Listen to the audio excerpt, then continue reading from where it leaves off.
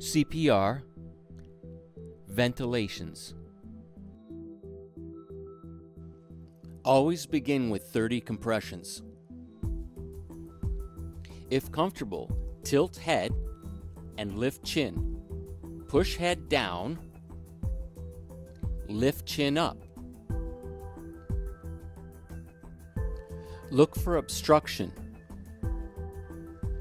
If no obstruction, pinch the nose. Provide two breaths of air, one breath per second. Do this cycle five times.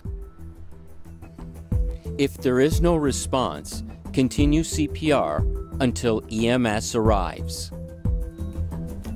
CPR Ventilations. Bye.